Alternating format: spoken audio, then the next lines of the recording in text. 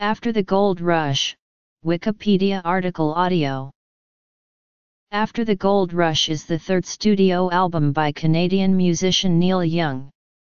Released in September 1970 on Reprise Records, it is one of four high-profile albums released by each member of folk rock collective Crosby, Stills, Nash and Young in the wake of their chart-topping 1970 album De Copyright JAVU.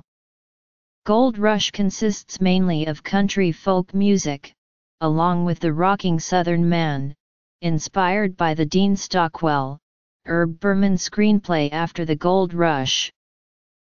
After the Gold Rush peaked at number 8 on the Billboard Top Pop Albums chart, the two singles taken from the album, only Love Can Break Your Heart and When You Dance I Can Really Love, made it to number 33 and number 93 respectively on the Billboard Hot 100.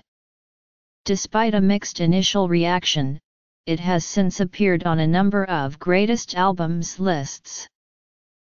Production Reception Initial sessions were conducted with backing band Crazy Horse at Sunset Sound Studios in Los Angeles amid a short winter 1970 tour that included a well-received engagement with Steve Miller and Miles Davis at the Fillmore East. Despite the deteriorating health of rhythm guitarist Danny Whitten, the sessions yielded a smattering of released tracks, including I Believe in You, Oh, Lonesome Me, Birds and When You Dance I Can Really Love.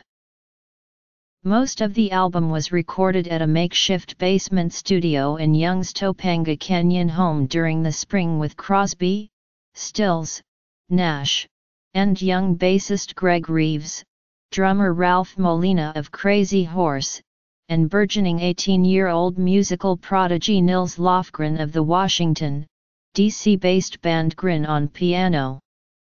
The incorporation of Lofgren was a characteristically idiosyncratic decision by Young. Lofgren had not played keyboards on a regular basis prior to the sessions. The Young biography Shaky claims Young was intentionally trying to combine Crazy Horse and CSNY on this release, with members of the former band appearing alongside Stephen Stills and Reeves. The cover art is a solarized image of Young, walking past New York University School of Law, passing an old woman. The picture was taken by photographer Joel Bernstein and was reportedly out of focus. It was because of this he decided to mask the blurred face by solarizing the image. The photo is cropped, the original image includes Young's friend and occasional collaborator Graham Nash of CSNY. Songs on the album were inspired by the Dean Stockwell, Herb Bermann screenplay for the unmade film After the Gold Rush. Young had read the screenplay and asked Stockwell if he could produce the soundtrack. Tracks that Young recalls as being written specifically for the film are After the Gold Rush and Cripple Creek Ferry. The script has since been lost, though has been described as sort of an end-of-the-world movie. Stockwell said of it, I was gonna write a movie that was personal, a Jungian self-discovery of the gnosis, it involved the Kabbalah, it involved a lot of arcane stuff. According to the Neil Young Archives, after the Gold Rush was released on September 19, 1970.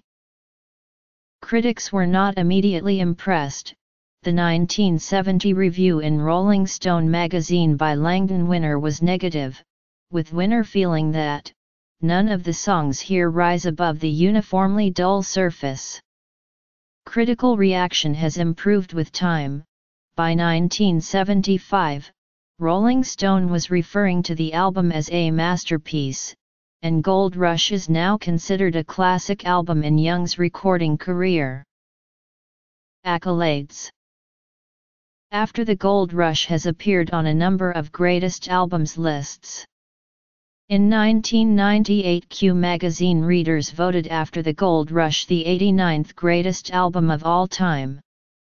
It was ranked 92nd in a 2005 survey held by British television's Channel 4 to determine the 100 greatest albums of all time. In 2003, Rolling Stone named the album the 71st greatest album of all time, his highest ranking on this list. Pitchfork listed it 99th on their 2004 list of the top 100 albums of the 1970s. In 2006, Time magazine listed it as one of the all-time 100 albums. It was ranked third in Bob Mersereau's 2007 book The Top 100 Canadian Albums. Its follow-up album, Harvest, was named the greatest Canadian album of all time in that book. In 2005, Chart magazine readers placed it fifth on a poll of the best Canadian albums. In 2002, Blender magazine named it the 86th greatest American album. New Musical Express named it the 80th greatest album of all time in 2003. The album was also included in the book 1001 Albums You Must Hear Before You Die.